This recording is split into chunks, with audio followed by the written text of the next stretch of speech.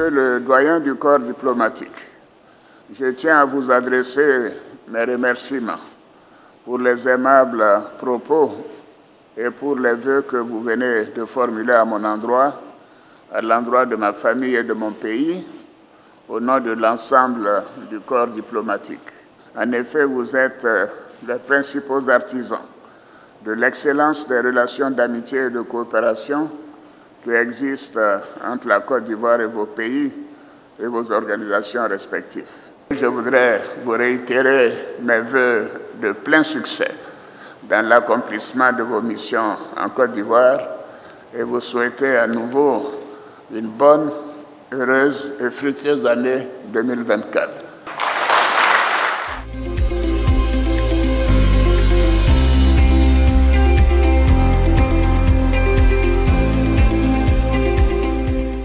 Mesdames et Messieurs les présidents des institutions de la République, le développement humain demeure notre priorité absolue. À cet égard, le gouvernement ne cesse de poursuivre les efforts déjà engagés pour le bien-être de nos concitoyens. Je continuerai pour ma part à faire du dialogue le maître mot de mon action à la tête de l'État en vue de consolider la paix et la stabilité dans notre pays.